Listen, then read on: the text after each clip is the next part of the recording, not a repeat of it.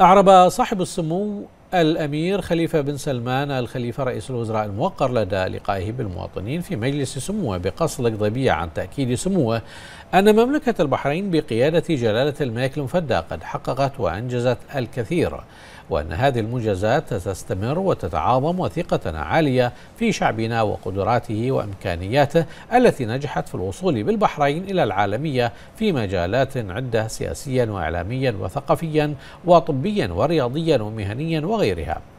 ويقينا بأن شعبا بهذه القدرات التي نعتز ونفخر بها دائما لقادر بإذن الله على تحقيق مزيد من القفزات الحضارية والتنموية بالبحرين وثقة كبيرة في أبنائنا وبناتنا الذين نعول عليهم كثيرا في ازدهار بلدنا وتطوره وامتدح صاحب السمو الملكي رئيس الوزراء وعي الشعب البحريني وانفتاحه وما يحمله من روح مسؤولية عالية. جعلته دائما ثابتا لا يتزحزح في التصدي لأفواه وأبواق الفتنة وفي جعل كلامهم الزائف زائلا ومنتفيا وغير ذي أثر في المجتمع. لافتا سموه إلى أن البحرين بقيادة حضرة صاحب الجلالة الملك حمد بن عيسى آل خليفة ملك البلاد المفدى مقبلة على المزيد من التطور والازدهار الذي يعد امتدادا لكل لكل الإنجازات التي تحققت في عهد جلالته الزاهر. ودعمت قاعدة المنجز الوطني الذي سيظل يرفض العطاء البحريني للوصول إلى الريادة في مختلف المجالات.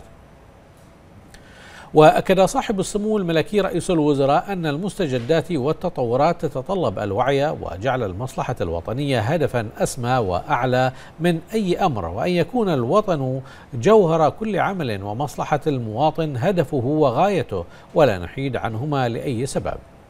هذا وكان صاحب السمو الملكي رئيس الوزراء قد استقبل بقصر القضبية صباح اليوم جمعا من المسؤولين ورجال الأعمال والمواطنين والنخب الفكرية والصحفية والإعلامية الذين أشادوا بما تهيئه الحكومة برئاسة صاحب السمو الملكي رئيس الوزراء من دعم للمواطن ليشق طريقه نحو العطاء والتميز الذي عزز من سمعة المملكة ومواطنيها إقليميا ودوليا وجعل البحرين يحظى بإشادة الجميع وثقة المنظمات ليتبوأ المناصب القيادية فيها.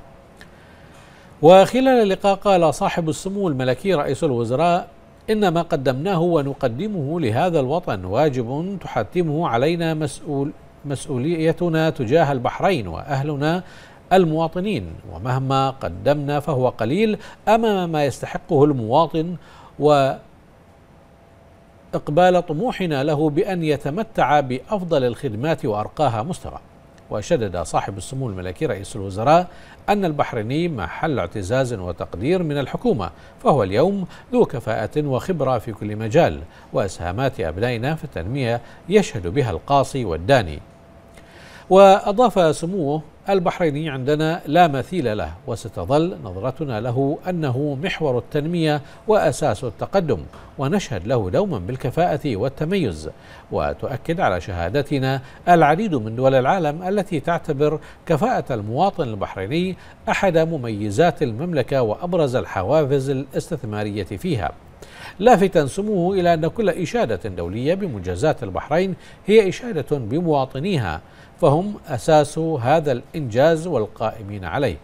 وبسواعدهم قامت صروح النهضة التي أسست لمسيرة تنموية شامخة يشار إليها بالبنان.